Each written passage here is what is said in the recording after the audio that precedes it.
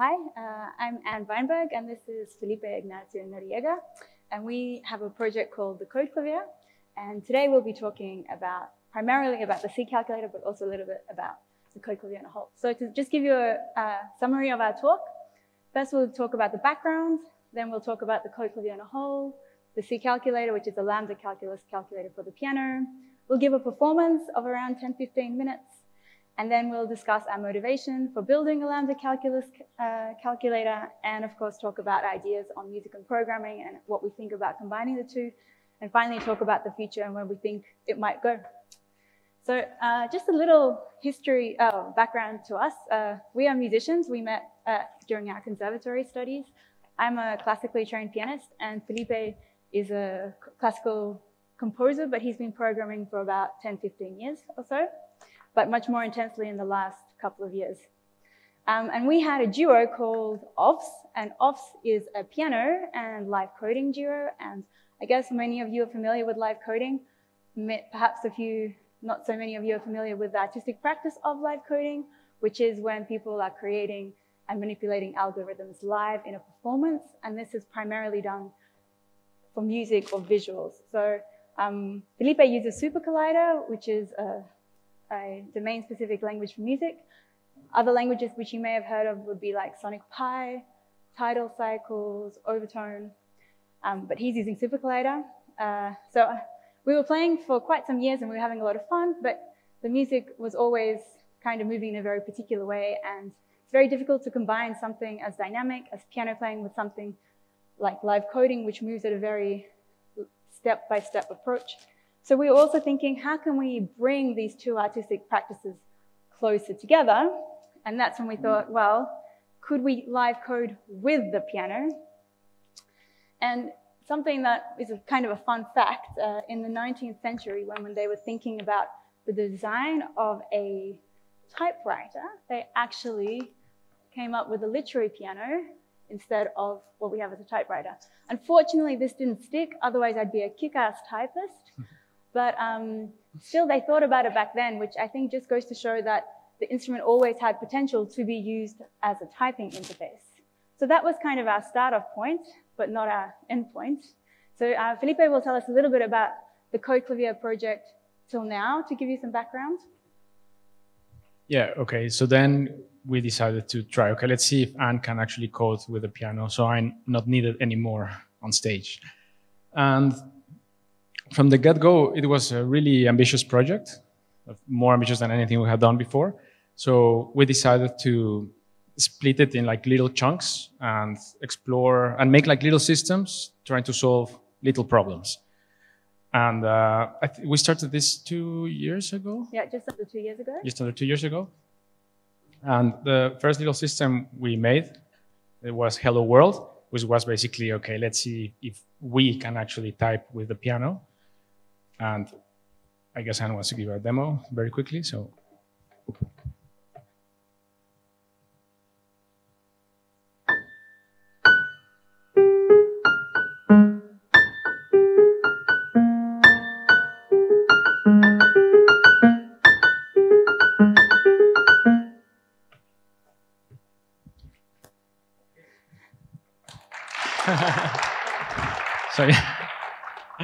so so she's really a good, uh, you know, typist. But it was also, I mean, this was just like our first proof of concept, and it, it was, it feels really silly also for us because it's just like one-to-one -one mapping of a key on the keyboard to a key on a laptop, you could say. So yeah, it's not that interesting, but it's like okay, we can do some things, and we actually also performed this, and you know, people reacted nicely to it. Yeah. But I mean, for yeah, go on. Um, it was really kind of just substituting the interface of the computer keyboard for the piano keyboard, and they're very similar, 88 keys versus around between 88 and 103 or something keys on a keyboard. But it wasn't really looking at the piano as an alternative instrument for coding. Or music. Or music, yeah. yeah. So then but it was Turing complete. oh yeah, because, of course. I mean, if, if she's typing, if she knows the syntax of any programming language, we could just boot that language and she could be typing valid syntax and valid yeah. programs, which I don't know if you did. Maybe you did. um, so then we decided, okay, we need to make this more musical. So then we did another little system, which is called Motippets. And this was more into trying to recognize uh, musical patterns, or that's motifs in music. That could be like a little melody or a chord or a tremolo, which are two notes being played rapidly and alternating, and trying to map that to blocks of code, to snippets. So it Shall will be do a demo? okay.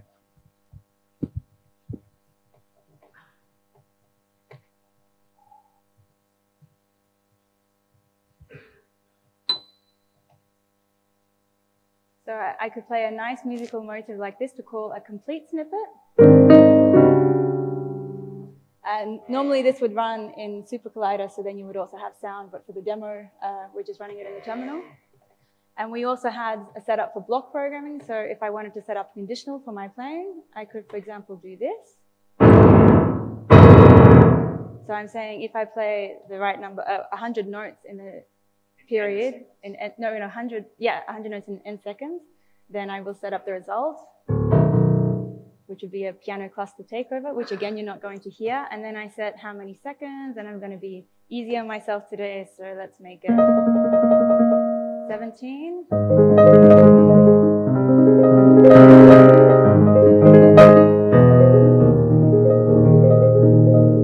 And voila, I passed. Of course, I can also fail, and there are other conditionals that we apply. Um, we also combine these two to form a joint one, which we call the hybrid. And if you visit our website, you can check a bunch of performances. And we also wrote a paper about the first two prototypes, which you can also find on our website. Yeah, so what happened there, if you could notice, is that Anne was playing the specific motifs that were matching specific code snippets from a library of snippets that we have. And then she was chaining those together. So it was, we want to, we call that a bit like block programming. So she is able, she has flexibility in how she chains the different code snippets together. Uh, but for us, that was still a bit limiting. It was a bit more musical. We're now trying to understand music, not just like typing. But uh, it was everything was very kind of hard coded. It was like, okay, this specific uh, phrase or this specific sequence of notes is this specific uh, snippet. This specific chord is this snippet, etc. And she will be flexibly changing those.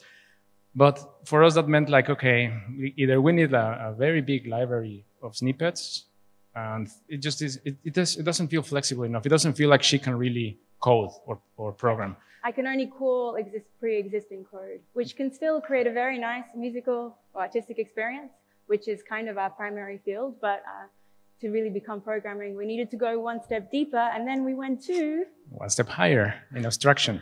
so we were like, okay, uh, we don't need just to uh, be able to parse specific snippets and match them, or sorry, music motifs. We need to understand what a melody is. So not a melody that is this specific melody, but a melody in general, in the abstract sense from above. Or what is a chord? You know, not just this chord, but any chord, or a tremolo, etc. So thinking about these things and this abstraction, that's how we came across lambda calculus. Um, and it really blew us away. I think. And we thought like, okay, we definitely have to explore this. So we started kind of a parallel branch of development where we were thinking, okay, let's just try to get the, the basic concepts correctly. And um, we thought, let's start easy also, because we don't know what we're getting into.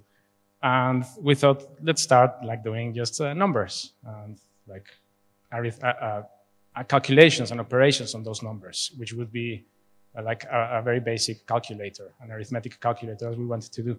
So what we did is that um, we started to approach everything as a function then, and I'll show you a bit of the code there.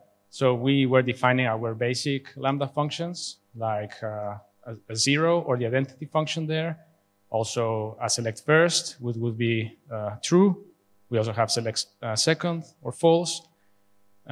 Just we also have like function application function, and then we also did our evaluator that is basically beta reduction. And um, probably for the ones who recognize it, you can see that this is Python. And well, I was expecting another reaction, but Uh, we have good and bad reasons for, for doing this, but we can talk about that uh, at the end if you have questions. So, and we wanted to do numbers, and of course, the nice realizations for us was like, oh, like numbers are also functions. That's that was like really really great for us, because then really everything was a function. So we also defined like uh, a way for her to do successors. So we have our, our successor function that makes a successor of whatever you put into it, and basically that way we were able to now not map the the piano to code blocks or not map the code piano to certain characters from the keyboard, but actually map the piano to functions and also be recognizing the piano as functions. Um, I think should do you, I think I mean we want to perform now. We'll probably do just a little explanation of what will happen and then we'll perform.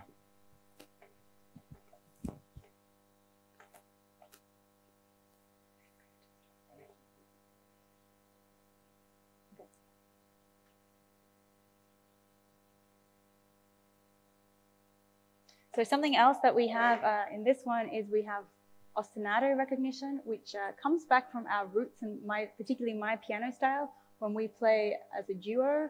Um, because Felipe, when he live codes, he creates a lot of layers in sound. I try to kind of mimic that with my playing. So I also create a lot of layers and I make an ostinato. That's, so that was kind of the way that we decided to make it possible for me to create functions in this one. So um, yeah. So how this will work is that like uh, we'll be like a duo again, and down here that's me on the white screen, and like the super interesting part is Anne Veinberg, which is up there on the black screen.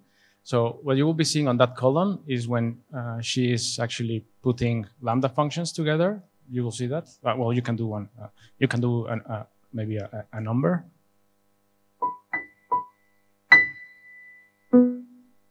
Okay, so you know, successor of a successor of a successor of zero, and then that on the stack that prints a three, which is mainly like a like that's mainly for Anne to know where she's going because it's also difficult to follow everything if you're just doing successors. And on the result, you will be seeing the result when Anne decides to evaluate the whole stack. Okay, uh, that's a five. And um, this is being broadcasted also with uh, OSC, Open Sound Control, to you know be a UDP, so I can grab it and then I can grab it and just put it in in something I will make. And um, here on the final one, that's kind of uh, for us one of the also breakthroughs we had is that Anne is able to define her own functions, just putting together the basic functions from lambda calculus. So mm, I guess you want to do one.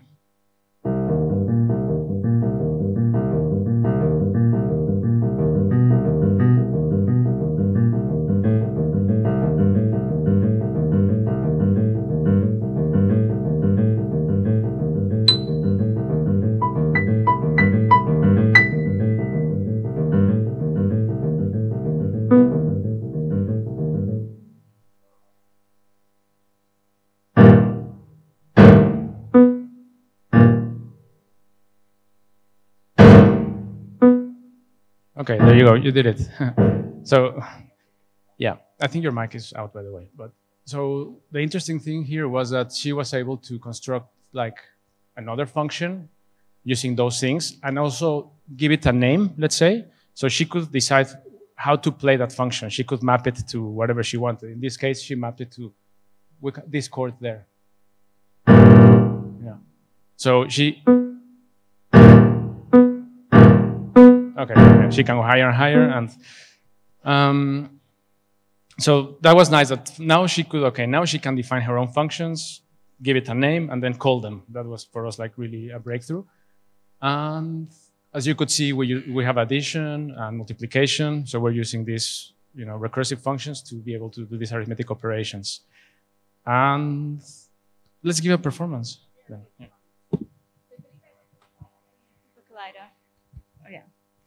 And uh, what's also nice about this is I have a lot of notes which are not coding. So I will just also integrate that coding into my more general piano playing.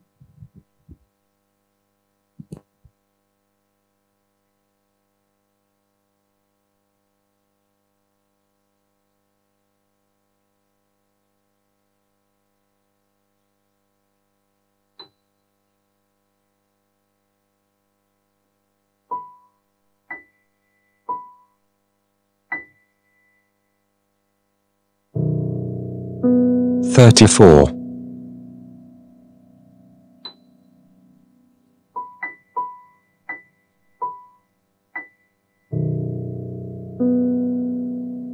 Forty.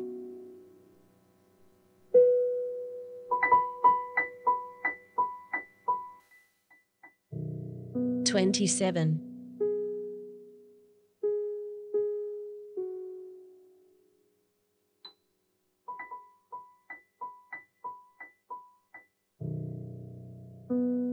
Thirty-eight.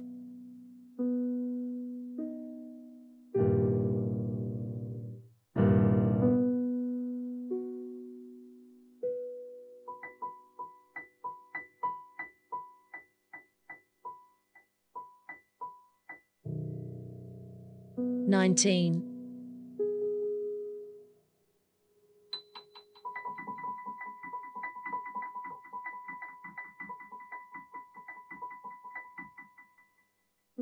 Thirty-seven.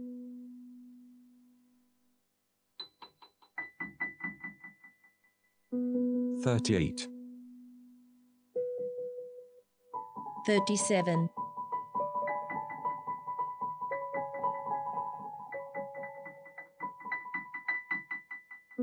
Twenty-four. Twenty-three. Twenty-two. Twenty-one.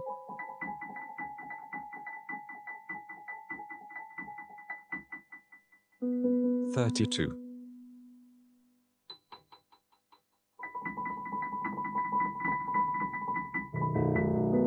Three hundred and fifty two,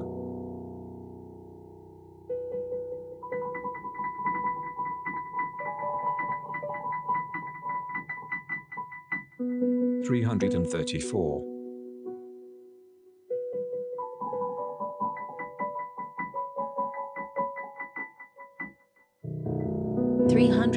47.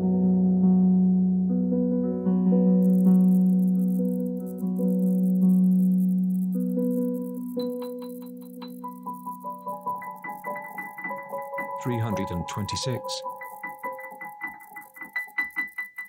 three hundred and thirty three,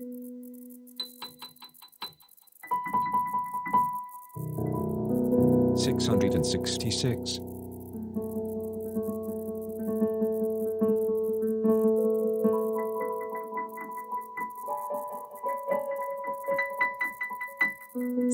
Hundred and fifty-one.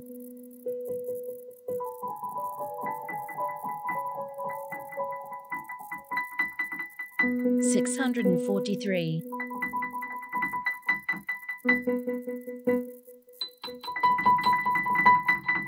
Nine.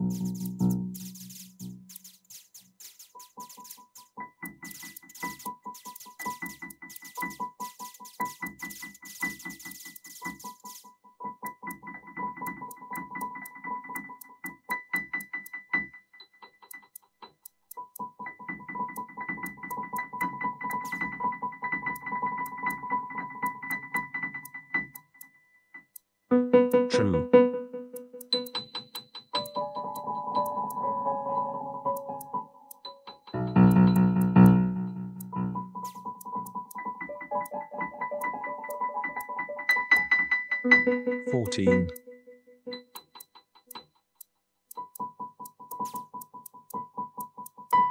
Thirteen, twenty-seven, twenty-six, twenty-five, twenty-four, eighteen, six,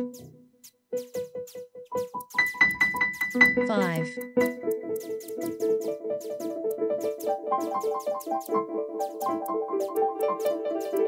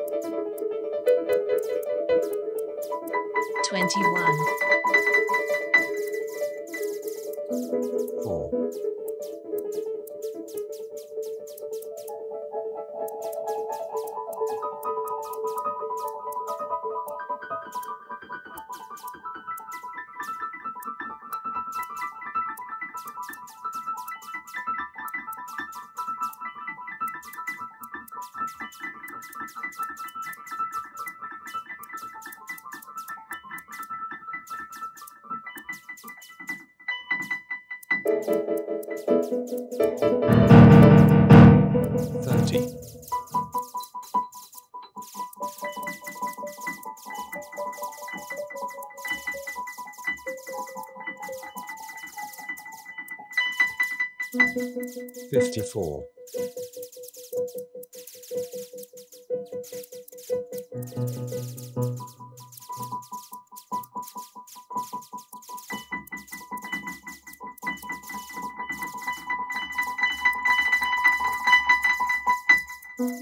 Seven.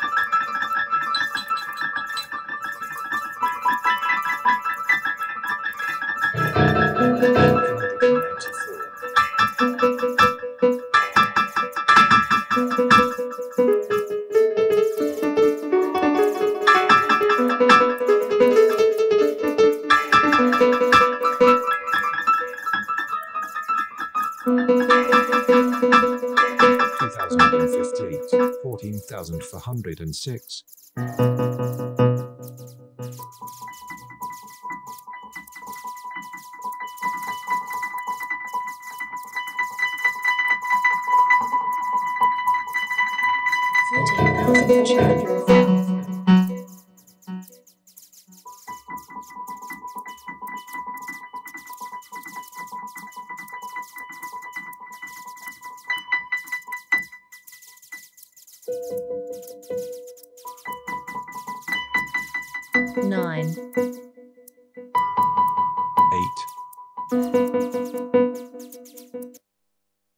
Thank you. So Well. Felipe, why did we build a lambda calculus calculator for the piano? Oh, okay, for that I have to go to the next slide. You have to go to the next slide. Okay, so this is the slide that I always get wrong. Let's see. Um, like basically, uh, this is going back and thinking of our original goal. Like we want to allow Anne or any pianist, for that case, to be able to code through the piano, through playing the piano. So not just clicking notes, but making music with the piano. And uh, lambda calculus ga- you know, gave us the, the tools to represent abstractions, uh, in this case, computing abstractions. And we learned how to, you know, understand and formalize computing or computation. And in that sense, when we're thinking about music, it's common to say music is also abstract. Maybe everyone or a lot of people have heard that. So we were thinking, can we also use lambda calculus or can this inspire us to find some sort of formalism to understand the abstractions in music? And the idea behind this is that if we can do this, then we will be able to have functions for music, which we will be able to easily match with functions for computation. And um, hopefully we will just bridge or bring piano closer to this. And I think lambda calculus, like, I don't know if this is why we build it, but this is what we learned, I, I guess, is that, you know, when you treat everything as a function, then uh, not only in what she's producing as a computation, but the way she's putting data inside, like if the data she's giving to the computer are also functions, we just feel we're like very close, or we, we see kind of light at the end of the tunnel, let's say. Uh, do you want to say something else? Well, I, I guess we were thinking about the different abstract levels in music. For example, a note can have a meaning in itself, but it can also be part of a melody. Or it can be part of a chord, or it can be completely insignificant. Um, mhm. For example, and then it's just a passing note. Yeah. So we're trying to think like how can we then define all these things as, as functions or propositions? Um, so start to approach a note maybe as a as a type or silence, and then what would be the relationship of that in depending on the context and trying to find the functions for that. Um, so Anne, can music teach us anything about programming, or can it mean anything for programming? Well, music has a history of functionality. We talk a lot about functional harmony. Certainly not the way I play, as I'm sure you just noticed. Um, but uh, you know, uh, especially during the Baroque era, when with Bach, we often talk about the founder of classical music as we know it today. There were certainly like harmonic rules and the functional harmony set up. And of course, we could follow those rules now, but we think that music has shifted a lot. And why would we follow the rules that were set up some 300 years ago? Um, so I think by having this ostinato chordal approach, I can define my own harmonic space, so, uh, sonic space, and then um, use that as functions, which I think is quite interesting. A big thing about playing the chord that you're making is that you're turning, uh, music is about process, right? You don't go to a concert to just sit there and wait for the applause at the end. You're about there for the whole experience from start to stop. And I think that's something that's generally different to coding because coding, when you ask for by a client to make something, they want a final product that isn't going to crash. They're not really interested in how you got there. Um, and that's really different. And that's what talk about live coding. I say it should be, the CodeKlavier is about live coding, not necessarily programming in an offline situation. It's a very much a performative experience. And I think it can be used to really highlight the beauty of the code that you're making. At least that's what we hope. But so process, not just outcome, is really crucial. And for me, as I play, um, it's kind of this com combination of intuitive and reason thinking. So I have to really think about the function I'm trying to create and what that involves physically, but also I'm just trying to play. Um, uh, like like the loop. wait, She- I haven't finished. Yep. I'm not up to the loop. but it's also thinking about how I'm going to um, trying to just incorporate that, squeeze that into the playing that I'm trying to make. So it's kind of combining these two very different thought processes together, which in the end creates this loop because. Uh, so we've been very lucky that Barbara has lent us her digital piano. Uh, the CodeKlavier is conceived for an acoustic MIDI piano, or we also now have a MIDifier, so we can make any piano, uh, any acoustic piano also MIDI, um, which just means that the sound of the piano should never be um, ignored. It's always there, and then we use MIDI as the communication protocol with the laptop and the program and the system. Um, so this idea that the music is constantly controlling the programming and the programming is always influencing the music and that, yeah, we have some sort of positive feedback loop. Yeah. say. yeah. Um, okay, so about the future, like where where do we think or where do we want to go from here? Is that um, we want Anne to be able to define more complex functions, and I think what we mean by that is that we want her to be able to uh, put a recursion function in there to define recursion also. I think we think that that's the next step. And once we have that, that she can do it, because right now she's, let's say, calling functions that already have it built in, then we unleash the power. yeah. And uh, so that's one of the next steps we're going to do, definitely. And we're also going to incorporate some of our more motivic uh, recognitions in terms of what the, what the functions actually are. For now, we're just using single notes, which is really advantageous in the sense that I have a lot of free notes in which I can play and a lot of free notes that I can make new functions with. But it does suggest that like a successor function is just uh, one single note, for example. So it'd be interesting to incorporate a variety of different ways to call the Yeah, yeah, we, we will we will extend the way the the Anne is giving information to the computer. We- Like we will try to parse music in a more dynamic way. Yeah. Uh, right now we have like ostinato recognition, which are patterns of repeated notes. The the already the CodeKlavier can distinguish if a pattern is played and then how the pattern is developed. And the way it's developed is the way she's defining the functions. So right now she's doing like one argument functions, but if she develops it where she changes two pitches of the pattern, then she's defining a two argument function, etc. And um, so we want to like sit down and think like, okay, these are all the elements that we know about music thanks to music theory. Let's try to see if we can find a way to understand all those in functional terms. I think that's something we really want to do, and probably we'll need the help from Norwegian friends for that.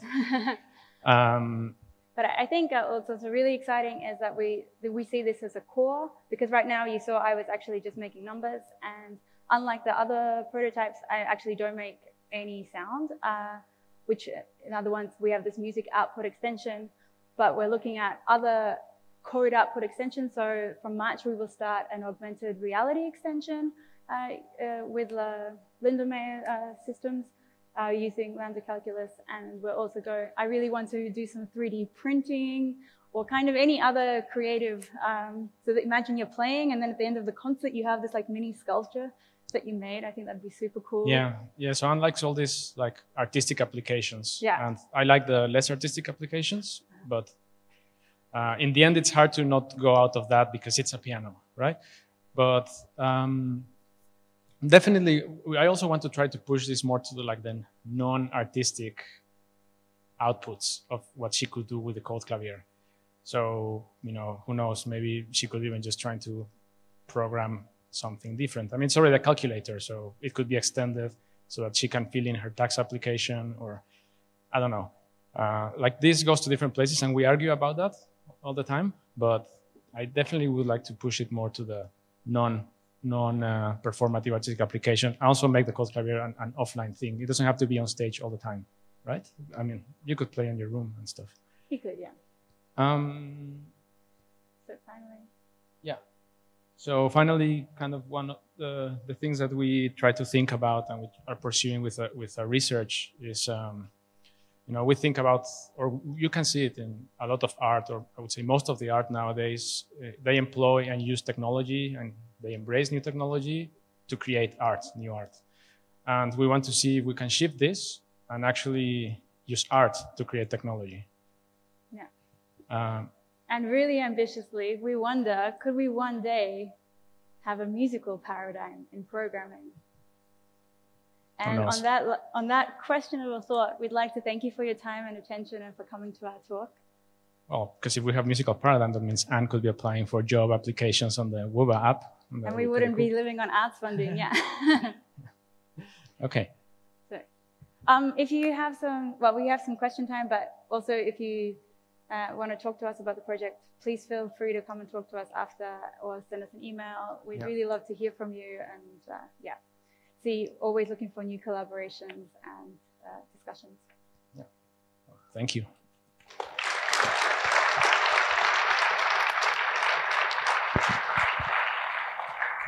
Yeah, so like Anne said, we have plenty of time for questions.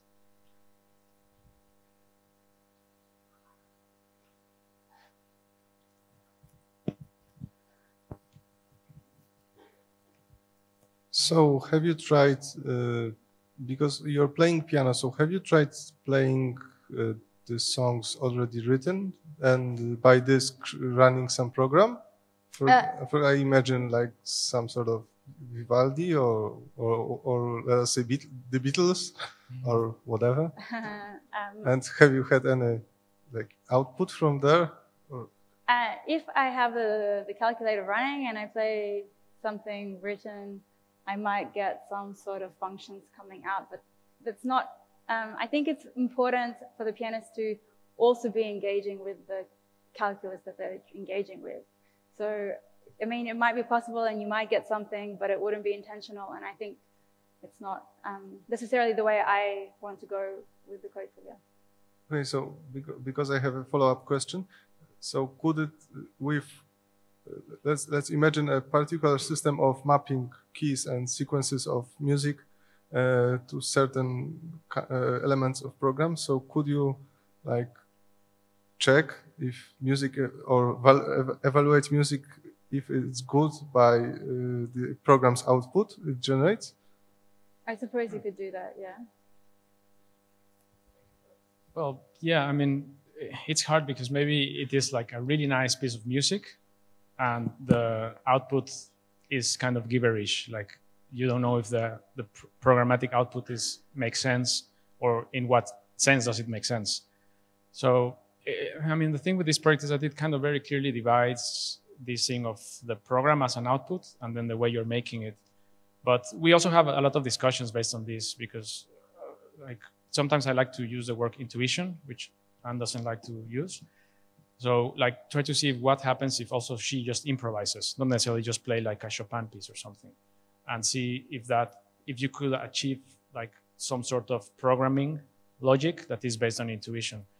But Anne, who is really the main user and who sits down and programs this, uh, she says that even though she's playing and she's also reacting to the sound and to her emotions, a part of her brain is never going away from from the logic of what you're trying to make. Yeah, but I also say that when I play normal piano, there's always a very active part that's never just playing intuitively.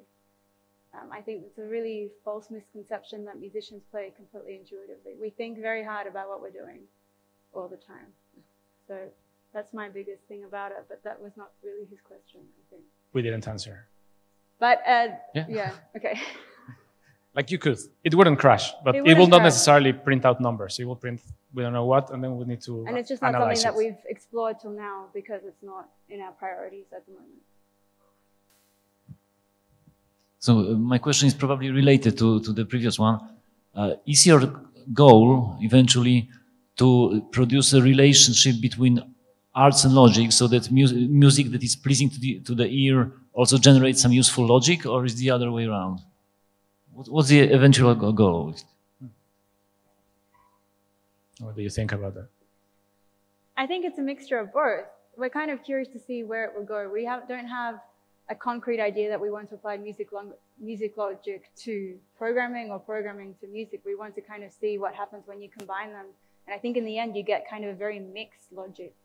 Also, like sometimes I really mess up my lambda calculus equations, also because I don't have a backspace button, or I might miss a note.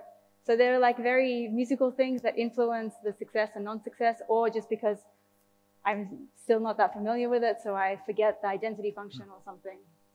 But But I, I think it's a very exciting, that's one of the things that we're really excited about is just to see where it will go and how it will influence both. I mean, that, that's one of sort of the biggest challenges we face that can we make an interesting program with interesting music? Or can music that sound good also render a valid and nice result in programming terms? And that's one of the things we keep experimenting and we are striving for. But if we have like a piece of music that is, let's say, known to be a beautiful piece of music, that's a, a more difficult question because also like music theory and music, let's say, taste changes all the time across cultures, across time. And I guess the same happens with programming, maybe also the, the approach to programming and what is considered. I mean, for the computer, not for the computer, it would be like, okay, I understand this program or I, I cannot execute it. But I, would also ask, like, how could you evaluate like the, the beauty of a program or the elegance of a program?